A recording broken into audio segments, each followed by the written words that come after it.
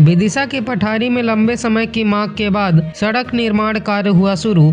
नगर वासियों को कीचड़ से मिलेगी निजात। नमस्कार, मैं हूँ अनुपम अनूप। आप देख रहे हैं द खबरदार न्यूज़। विदिशा ज़िले के नगर पठारी में लंबे अरसे से जैन मंदिर से लेकर हाम चौराहा तक की सड़क के निर्माण की समस्या बनी हुई थी। क्षेत्रीय विधायक हरि सिंह सप्रे के प्रयास से इस सड़क का निर्माण कार्य शुरू हुआ, जिसके लिए गुरुवार को भूमि पूजन का आयोजन किया गया, जिसमें जनपद पंचायत के उपाध्यक्ष, प्रतिनिधि एवं मंडल अध्यक्ष हरिनेश यादव, विधायक प्रतिनिधि अखिलेश पंथी, तहसीलदार अविनाश पांडे, थाना प्रभारी ऋतुराज, वरिष्ठ भाजपा नेता अरुण सहेले, राकेश सिंघई सहित नगर के वरिष्ठ नेतागण व गणमान्य नागरिक शामिल हुए। आपको बता दें कि पठारी क्षेत्र के लोग एवं पत्रकार संघ इस सड़क को लेकर लंबे समय से मांग कर रहे थे, जिसका गुरुवार को भूमि पूजन के साथ ही निर्माण कार्य शुरू हुआ। ये सड़क निर्माण फार्म चौराहा पठारी से बस स्टैंड होते हुए जैन मंदिर तक किया जाएगा। आपको बता दें कि सड़क निर्माण में लगभग एक करोड़ का खर्च होने का अनुमान है। विदिशा से आशीष सहेले की रिपोर्ट,